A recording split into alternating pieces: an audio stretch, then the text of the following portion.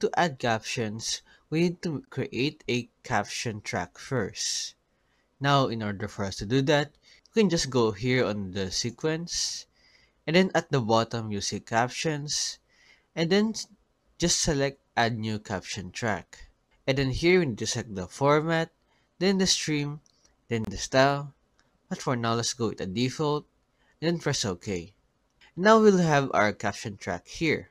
Now to add captions, you can just go back to sequence, and then captions, and then you can add caption at playhead by pressing Ctrl Alt C. Now an easier way for us to do this is just go here on our captions tab on the top and then this is where we can add our captions. Now to add captions you can just click here on the plus button and then it will add a caption on our playhead. So let's say I want to add the caption here and then press the plus icon and then it's going to add a caption there.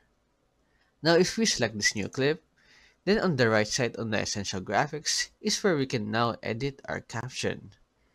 Now here on the left we can type what's going to be on our caption. So let's just say I want to add something there. Give it like a little hello. And then here we can choose the track style if we have one. And then here's where we can edit our um, caption. We can change the alignment, the type, and then where we can place our caption. So for example, I want it to be in the center of the screen. So you can just select that or in the top right. But for now, let's go keep it on the bottom center. And then here we can change the X and Y axis of our caption here. So you can just move it like this. If you want to also erase it, you can just move it like this too. For now, let's just keep it at zero. You can also just type anything here. And also you can change the appearance for that too. And then the font. And that's about it.